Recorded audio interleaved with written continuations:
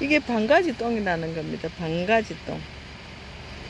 반가지 똥인데, 이 보세요. 이, 이, 이거는 아주 어린 거고요. 좀 더 크면은 이게 정말 거칠게 크거든요. 이- 이게 반가지 똥이에요. 반가지 똥. 음, 음, 찔레 꽃인데.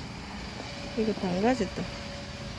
근데 반가지 똥, 저번에 저 강의할 때, 반가지 똥이 엄청 거칠다 그랬죠. 이, 이게 지금 크면은 이게 막 더 거칠고 지금 엉망입니다.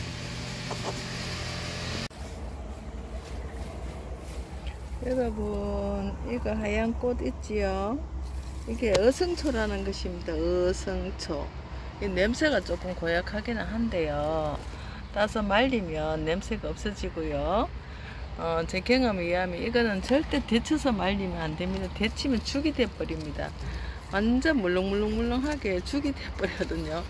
처음에 모르고 전 데쳤다가 다 버렸는데 따서 그냥 말리면 되시, 됩니다.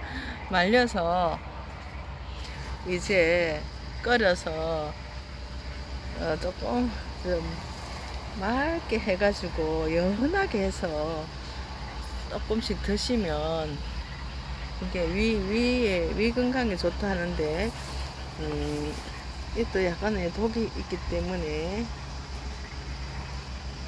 생거 드시지 말고 말려서 차로 드시면 괜찮겠습니다. 조용? 자기 좀 이쪽으로.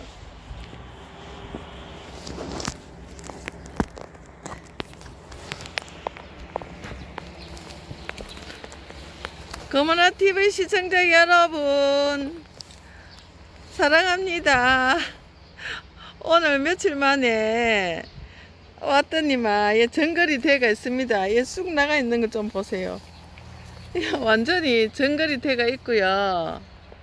오늘 저 예초도 좀 하고 이제 좀 깨끗하게 해놓고 가려고 합니다.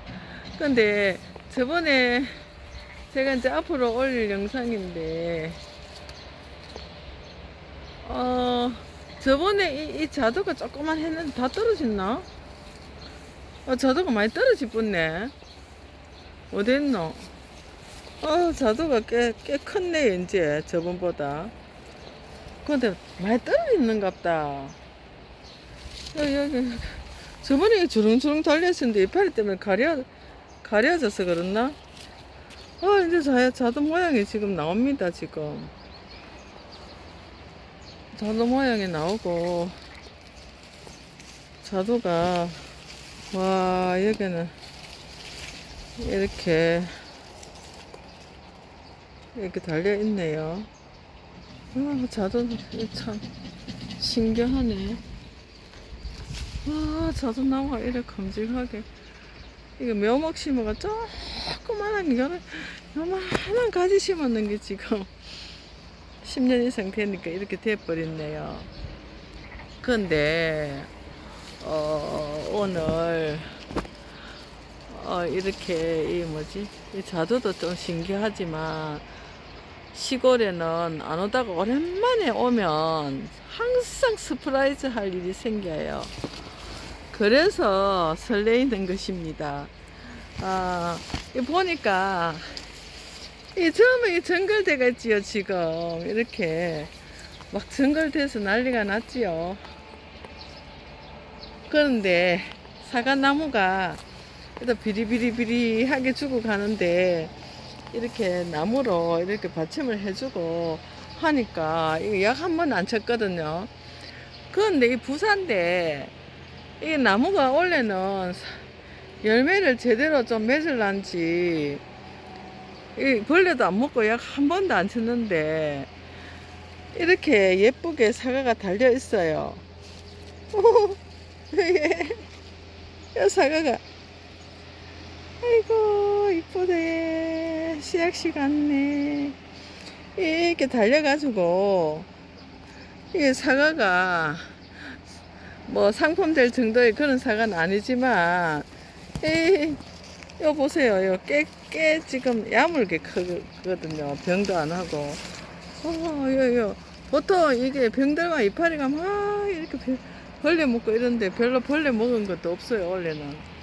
싱싱하네요. 이 정도면 사과 그래도 한 20개 넘게는 따먹을 것 같네요. 어, 이거는 이건 열매가.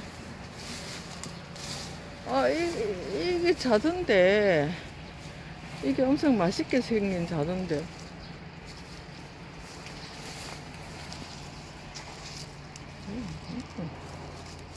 이거는 너무 썩고 아 열매가.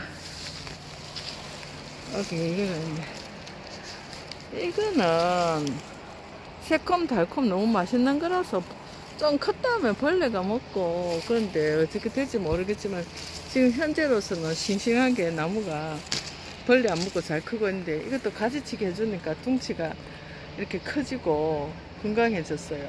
이게 막 진이 나와갖고 나무가 죽으려고 하는데 가지치기 해서 살아났거든요.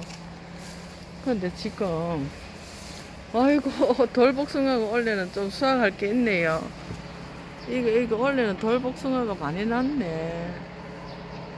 아, 이거, 이거 이것도 가지치기 엄청 해줬거든요. 이 가지치기. 가지치기 많이 해줬더니만 이렇게 커졌어요. 돌복숭아가. 이 돌복숭아를 액기스를 담으면 이게 몸에 좋다 하니까 아이고 어, 돌복숭아가 이번에는 좀 그렇게 이상하게 나는 것이 아니고 엄청 건강하게 난 거 보니까 가지치기를 잘 해줘서 그런 것 같아. 이 보세요.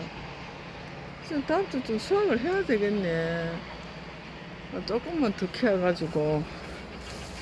아, 아이고, 오늘 예초를 해야 되겠네. 어, 이래 돼버리네. 머리가 이렇게 돼버리네.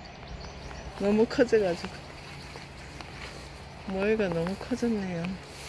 여기는 저번에 중간에 채취를 좀 하니까 이렇게 자그만한 게 또 올라왔고 연하게 보이지요. 근데 여기는 채취를 안 하고 그냥 두니까 이렇게 커져 버렸어요. 머리도 액기스 담으면 좋다 하던데 액기스를 한번 담아볼까 생각 중입니다. 요즘은 이게 머리때가 좋거든요. 머리때로 들깨 찜을 해 먹으면 좋지요. 와, 이거 머리때는 그냥 그 보기만 봐도 신기하다. 이게, 이게, 이게, 이게. 와, 싱싱하네. 이러니까 여기는 예초할 필요가 없는 겁니다. 그래, 싱싱한 머리 잎도 구경하고. 지금은 머리 뿌리는 어, 겨울부터 봄까지 채취하고 지금 영양이 영양가가 이 잎하고 줄기에 다 모여 있거든요. 그래서 지금은 사람들은 이 이파리는 세다고 안 먹는데 사실 이 이파리가 이 파란 게 이게 눈, 눈 건강에도 좋고 참 좋거든요. 어, 이걸 잘게 썰어갖고 액기스를 한번 내보든지 아, 연구를 좀 해봐야 되겠어요. 아, 아, 또 재밌다. 아, 저거는 뭐 체리 나무가 다 죽어가지. 이거는 오가피인데 저거는 오가피 순 뜯어갖고 땅두릅하고 같이 데쳐서 무쳐, 무쳐서 먹으니까 너무 맛있어요. 그래서 오늘 또 술은 좀 떠도 되겠어요, 보니까. 조금 위에 나온 새순 좀 잘라가지고 그렇게 하면 됩니다. 아, 이건 체리 나무인데 체리는 한 번도 지금 성공해 본 적이 없는데 이번에 가지치기 해주니까 또 위로 잎은 많이 났는데 어떻게 될지는 미정입니다. 아, 저거는 흑개나무 흑개나무인데 가지치기 많이 해줬어요. 그래서 원래도 좀 열매를 맺겠네요.